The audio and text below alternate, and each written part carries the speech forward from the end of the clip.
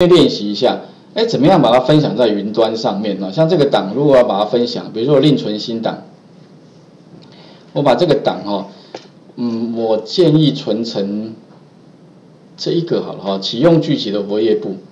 那为什么会用这一个哈？主要原因是因为，如果你用原来这个活页簿，它会帮你转换成 Google 的格式，可能会有比较多的问题了。我先用这一个好了哈，然后把它储存。那名称的话呢？我就用原来的问卷调查的这个名称按储存，好，那如果说将来各位有需要要把某个档案分享给其他人的话，其实哈有几个方法，第一个哈，比如我现在把它放在哪里呢？放在这里，希望把它放在这里的话，现在是没有嘛哈，现在没有，那怎么样把它放上去呢？其实有个简单的方法，就是啊，我开启云端硬碟。那我这边有个云端硬碟，我从这边开好了哈。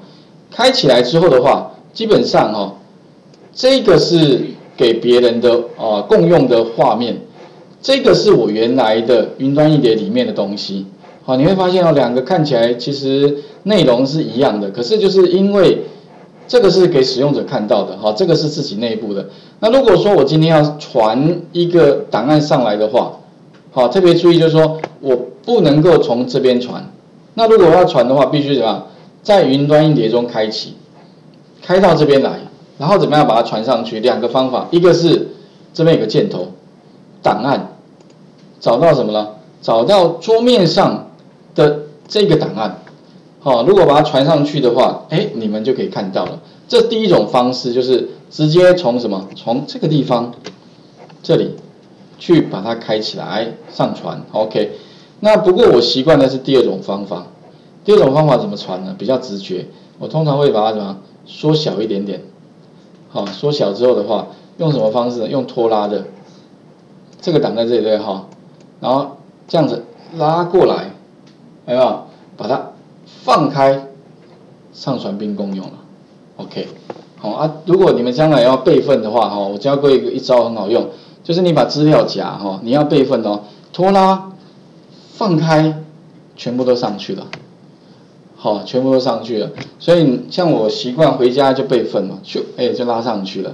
可能有时候会备份比较久了，不过没关系，就让它备份。好，OK。那这个时候的话呢，你可以看到哈，它这边有一个就 已上传，而且是共用，已经共用状态。那我可以再切回到哪里？这边有个共用项目，因为它预设已经是共用的。当然，如果说你不共用的话，你这个地方可以把它关闭，不要给人家看到。那如果传上去之后的话，再切回到刚刚哦，就是给各位那个那个短网址有没有？这个时候呢，直接再重新整理一下。那各位可以看到，刚刚的档案呢就在这里了，有没有？就这一个哦。那如果等一下各位要使用的话，他会先给我给我一个图，那你再怎么样选择下载。好，就可以看到我刚刚的那个范例档。那你们试试看，就是说做两个地方的练习啊。第一个，这个地方入门进阶的；第二个，名字的部分。好，那等一下哈，我们顺便讲一下，就是说，像这边有 email 信箱，对不对？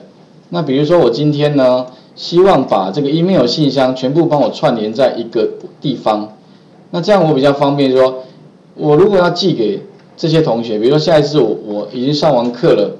那我要把影片传到 YouTube 了，也产生一个连接。那我要寄给你们的话，哎，这个时候的话，我若一格寄当然是没有效率。怎么样把这一个全部的资料帮我汇集成一个一个储存格？好，OK，那画面再还给各位试试看哈。